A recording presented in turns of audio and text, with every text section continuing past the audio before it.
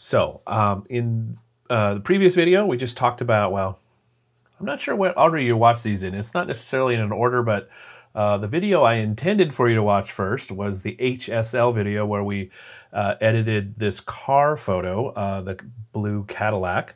Um, and the video, uh, this video is the second in the series of three in Lightroom Classic 2 video tutorial. This one is going to be about the split toning panel, split toning, so something different.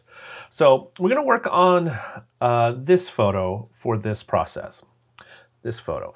So um, here's the deal with this photo. Lots things technically wrong with this photo. Before I get into fixing it, I want to show you a little something first. And, and to do that, I'm going to exaggerate a couple things. So I'm going to take my exposure and turn it up and pull my blacks way down. Here's why I want to show you this. If you're ever working on a photo and then all of a sudden you start to see this and the, or this, you've got these blue areas and these red areas and you're like, I don't know what's going on. They're in my photo. I don't know what happened. I will tell you what happened. Here's what happened. These are warnings. They're not actually part of your photo. It's Lightroom saying, something's going on here that's technically wrong. So let's start with uh, the, the blues, well, the reds. The reds are areas of the photo that are pure white, and they correspond to the histogram over here on the right-hand side. So anything that's in the image that is pure white, which means it has no details. So the way you show this is in the histogram, if you click on this triangle, and the triangle will be white when there are um, in, on the right hand side, there'll be it'll be a white triangle when the uh, photo is too bright. So if I'm back here, see the triangle's not white, uh, but back here the triangle is white. Okay, uh, you can just see it by just putting your mouse over it to get a sense of what's going on. In this case, uh, if I put it over the blue side, uh, I mean the the darker side, uh, this will show me areas that are no detail in the dark. So if I click on it it'll stay no matter where I move my mouse. So if you're seeing it all the time, those if you're seeing red or blue, and you know it's not in your photo, it just means you clicked on these little highlight and shadow warnings and uh, just click it again to turn it off. All right, let's back to our regularly scheduled photo here and talk about what I do first anytime I see a photo like this, okay? Um, it's nice to have some go-to things to, you know, I'm going to try these things and see if they fix what I think they'll fix. Anytime I have a photo like this where I've got the sky and it's pretty bright, and then I've got something else in the photo that's relatively dark. And, and, and another way to, if you want a technical way to look at this, look at the histogram. The histogram is pushed to both edges of the bright and the dark. So up here on the histogram, I've got lots of stuff in the brights, lots of stuff in the darks. Here's my first move for both of those. I skip everything near the top and go to highlight shadows, whites, and blacks. And I take my highlights and go to minus 100-ish, and my whites and go to minus 100-ish. And what that does is the this cloud, the sky is better. I can see some blue sky now. And then the next thing I do is I take my shadows and go about to plus 100. So now look at the histogram. Instead of being at the edges, the edges are smoothed out and it's brought into the middle. So this is more technically correct. i have preserved the detail in my bright parts of my photo and I've opened and preserved the details in the darker part of the photo. In doing this, here's what happens. I know this is kind of turning into a tutorial on this type of photo, but hang on, we'll get to the split toning in a second. Um, when you do this, what happens is you lose some contrast. So I'm going to turn the contrast back up until it looks good. I'm at about 35, okay? Um, let's see, uh, white balance and tint, I'm okay on those. I'm going to, uh, maybe I'll just do a little extra blue to get that sky to pop up and uh, maybe go, well, I'm going to leave the tint alone for now. Okay, so little blue for the sky. Uh, texture, I'm gonna turn that up because I almost always do. That'll be nice on the shingles. It'll bring out the detail in that. I'll turn the clarity up. Uh, remember, dehaze is your friend with clouds. Look at those clouds. It also, I'm going to show you how to fix those little spots in the sky in another video in Lightroom 3. Um, So I'll turn the dehaze up a little bit. Let's go ahead and turn up the vibrance because, you know, that's what I do. I'll go to about 30. That'll also richen the color of the sky. Richen. Make the color of the sky more rich. And saturation, I'll just pull that down just a little bit. All right. So I've got my, my photo um, to a place where, uh, okay, now it's, uh, I can start experimenting with some extra layers of uh, either creative or corrective control. And I'm going to use this, the next thing I'm going to show you, I'm going to use it creatively. At the end of this video, we're going to work on the third photo, photo that uh, Tower Bridge photo from London, and we'll kind of combine HSL and split toning as a, as a, a little bit more corrective than just creative. Well, it'll also be creative. Anyway, we'll get there. All right, so this photo, so on this photo, I want to skip, um, here's HSL. We worked on that earlier. I'm to skip down to split toning. In split toning, uh, I'm going to show the details of that by clicking the triangle to show the two sections of split toning. And those two sections are highlights and shadows. What this um, panel does is um, it's a lot like the filters in some of the apps on your phone. So it can do like here, look, make it look like a 1970s photo. And that's kind of what we're going to do on this photo. We're going to change it around. Uh, you can go for different looks and different feels, and it can be very special effect looking. It can also be more subtle. So like the be in subtle. So let's let's talk through how this works. Here's how split toning works. So the highlights part, what that does is it takes a color that you decide you define, and it lays it on top of the brighter portions of the image. So in this image, it would be uh, the shingles on the roof are bright, uh, some of the trim on the building is bright, and obviously the sky and the clouds are bright. So you can lay a color on top of that and decide how rich that color is. So you have the hue, which is the color, and then the saturation, the volume, the intensity of that color. So let's see how it works. Uh, we do the same thing with shadows, the darker parts of the image, where we uh, can lay a color on top of the dark parts, which would be the side of the barn, mostly in this, and a little bit of some of the stuff in the shingles. So, um, if you just drag the hue slider first, nothing changes on either the highlights or the shadows because there's it's there's there's nothing turned on the, the saturation is the volume basically, and the default is the saturation's at zero. So I'm going to turn that on first. So I'm going to take my saturation and turn it up, and I usually go to about 30, 30 to 40, just depends on where I stop. And what this is doing is now it's applying the hue of zero, which is a pink red color, but at this volume it's it's a pink. So if I turn it all the way up, there you'll see. Look at the special effect. Isn't it beautiful? No. Uh, so again, about 30. And then let's just, that's enough of a volume to see without being a, too much, uh, in my opinion, uh, what the color is doing. So I'm going to walk through the colors. And you go from red to orange to yellow to green to blue to purple and then reds and then back to pink. So what I want to do with this photo, what I was thinking is this feel this is an old this is an old building.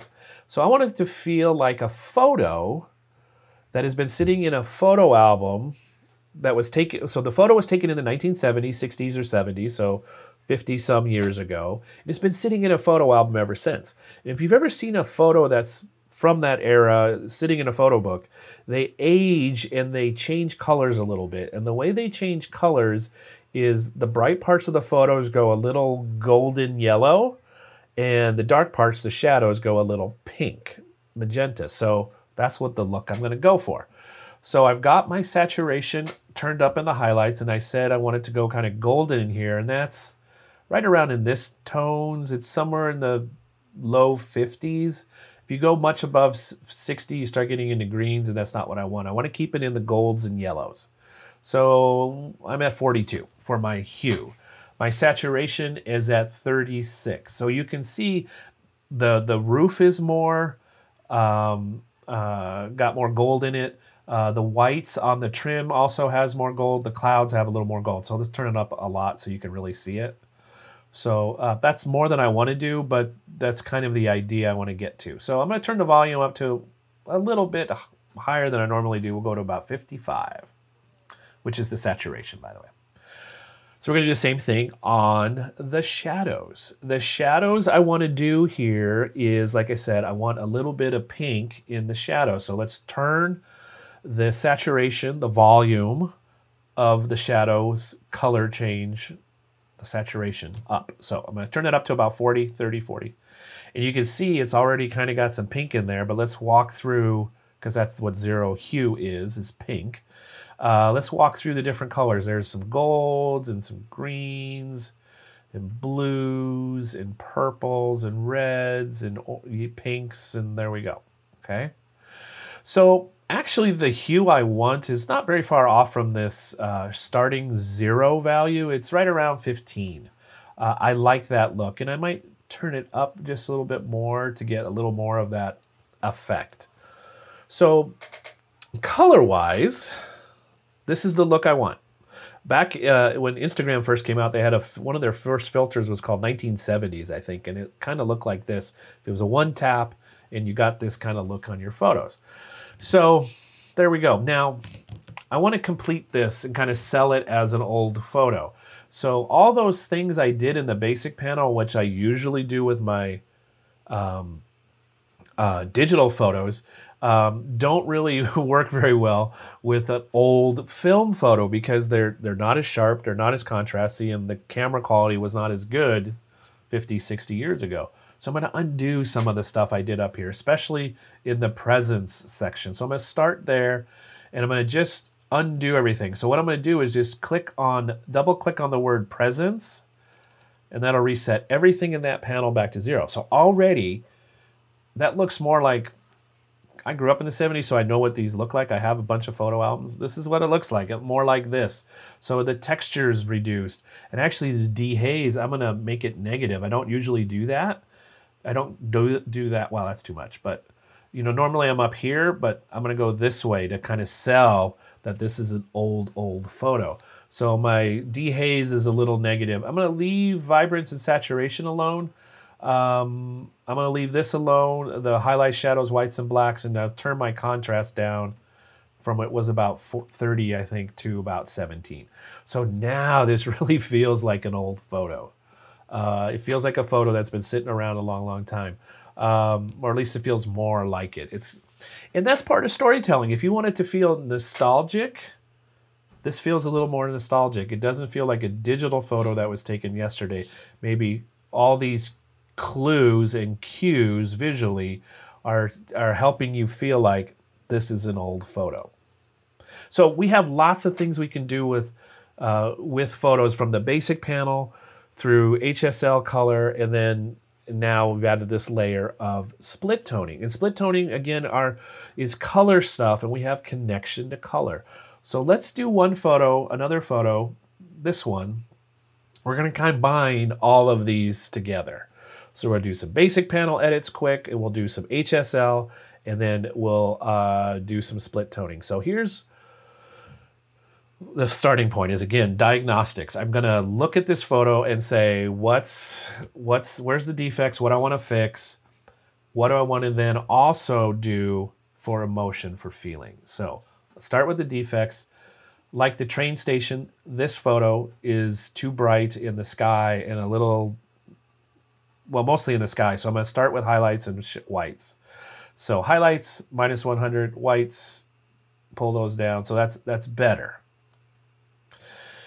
But it's not enough yet. You notice how this isn't as dramatic as it was on that train depot. So I'm going to skip down to HSL.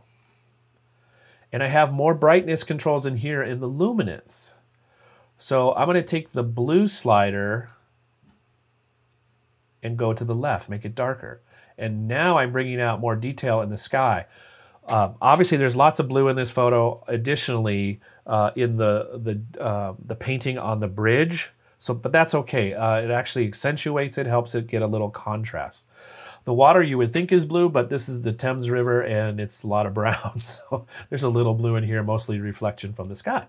So already, wow, that's a big difference. So I just with three controls, highlights, whites, and the blue luminance. That's where we started. Already it's lots better. Lots better. So let's go and fix some of those other things that I want to do uh, technically, and then we'll get into a little bit more mood stuff with color. So um, I'm going to turn up contrast because I usually do on buildings like this. Go to about plus 20. I'm going to add some texture, about 30. Uh, clarity, let's see what do I want to do with that. I want to be a little careful with this. You can see now it looks like the city needs a cleaning. I don't want to turn it up too much. Maybe just a nudge to about plus 10, just so it's a, a hint of it. Dehaze, uh, what do you think is going to happen? You're going to see more of the river and the stuff in the clouds. So watch this. There's the clouds, there's the river. Again, it's way too much but that's the direction I want to nudge it to. So I'll, I'll turn it up a little bit about plus, plus 10, plus 17, something like that. So we've added some stuff. Um, do I need to do anything with the crop? I'm looking to see if it's a little crooked. I think it might be a little crooked. Also over here, uh, we've got this little uh, red dot that I, I, it's very close to the edge. So I'm going to crop now and just get rid of that. So I'm going to start at the top right, just click and pull down. There we go. Uh, my bridge deck is now in the middle, uh, is in the lower third. So, hey, and the one tower's on the right third. Hey, it's kind of like magic. Um, so, ooh, let's see if the bridge is straight. Yeah, it looks like it's pretty straight and flat there. Um, I'm going to overall increase the exposure just a little bit uh, so it doesn't feel so dark and sad. I'm at about plus 0.5 there. Uh, I'll turn up vibrance just a little bit because I like to do that. I'll go about 25. I'll pull the saturation down just a little bit, minus 10. Okay. So now I want to go into HSL and play around a little bit with the hue. And this is something I've been starting doing lately, and that's taking, um, I, I take most of the colors except for yellow, I mean green, and I make them a little negative and it just shifts the colors a little bit. Uh, there's not a lot of reds and orange in here, but what I do is I go here, minus, this is a me thing. This is a look I've started to like. Um, and so it's about minus 13 to 15 on everything except the green, and I leave the purple and magenta alone. So what that does is it just shifts the blues a little to teal, and it shifts the reds and orange and yellows a little to the more vibranty colors, I guess. So um, here, let me, okay. Another thing I want to show you while we're here is each of these panels have a little switch. So like I can do before and after on the whole photo with the, uh, uh, it's called the pipe symbol. It's the vertical, well, it's the backslash key. Um, but, so that's before and after. You can just show before and after on one panel uh, in the HSL panel, it's a little switch to the left. So I'm going to click that to just turn that off. Uh, because I did the sky, there's quite a big difference there. Let me, I gotta leave it for now. But uh, you can see a little bit of the color shift as well, I hope. Will help. Um, uh, split toning. Uh, again, this, uh, um, this is, uh, I'm going to do this a little bit for my style of photos. It's, it's a terrible word. I don't really like the word style when you talk about photos because uh, it implies trendy and it's going to change and you're just doing it because other cool people are doing it. Um, I do it, uh, I have a look I like, some colors I like. Uh, in case you haven't figured out, I, I like blue. Uh, uh, my logo's got blue in it. Um, I have blue pens. So I like blue. So I do that in, in my colors. I like a little less pink in my images, so let me show you how I do that with split toning. Here's my thing I almost always do with split toning. On the highlights, I take my, oops, I sorry, I start with the hue and I just going to turn it up. I always go, always go to about 54 on the hue, and then I turn my saturation up till it looks good. And what this is going to do is it's going to make it a little less gray. It's going to warm it up. To warm it up. So if warming feels a little friendly, those warmer tones. Uh, it takes a, um, and again, it, I, I just like the look. Uh, shadows, my magic number for you is 206, 206. There was some trial and error to get here. Uh, and if I hit 207 like I did here, I'd go close enough. And then I turn the volume up. So this is on the shadows, so the darker parts of the image. So this is going to be the water and the sky. And I usually don't turn it up very much, somewhere between 19 and, well, somewhere between 15 and 30 is kind of the amount I go with. So it's not a huge change. It's pretty subtle, but here's the difference. I'm going to turn off split toning so you can see this is with split toning, without split toning. Now it feels really pink to me. It's got a lot of pink in it. Now it feels warmer and uh, also the blue, the cool. So both warm and cool. It's kind of like me. so that's how I would edit this photo. I'm correcting some things that are technically wrong, that are, are bothersome to me. So it's way too bright, way too bright in the sky. So I can just quickly fix that with H with the the highlights and I mean highlights and whites, and then pull the blues down uh, in the luminance panel. Okay, how did I know that? Well, I've been using this for a long time. Um, so, um, and then I added, uh, I shifted the colors just a little bit to my taste in the hue part of HSL, and then also to my taste, split toning, I went that direction of colors that I, I like in the highlights and shadows. So now this photo is more me. If any, if we all had the same photo and I just, if I had you all edit this photo, I would hope you would all edit it differently, especially the way these kind of personal choices about color. Um, color is very personal, um, and when you add those personal touches to your photo, they become more you, and then they become quickly identifiable as your photo as other people see them. So, plus they just, hopefully they look more like you. That's the biggest reason to do it. So uh, when you edit your photos, I hope you edit them as your photos. You're not editing for me, for someone else. Uh, just like when you took the photo, I hope you took it, you created the photo that you created because it's what you wanted to do. Start there. If you start there as yours, you're interested in it, you enjoy it, it's exciting to you. And same thing with your edits. Play around, try different things. You can't hurt the photo, you can't break the photo uh, you can always go back to start over again. So that's some things you can do with HSL color and uh, split toning on your photos. So uh, there you go. There'll be some questions to answer about this on the assignment. Um, now that you've watched the video, go read the questions and maybe watch the video quickly again. Uh, if you have any questions, uh, something that didn't make sense or uh, didn't cover quickly enough, I mean, quickly enough, uh, adequately enough, please let me know. Send me an email. Uh, stop by Zoom office hours. Some of you are starting to do that, and it's we're having great conversations. So that's fun. Um, the next video will be quickly a, a brief, relatively brief video about noise reduction in Lightroom. I will see you there. I hope you're having fun uh, creating images and creating them uh, to be even more yours inside of Lightroom. See you in the next video.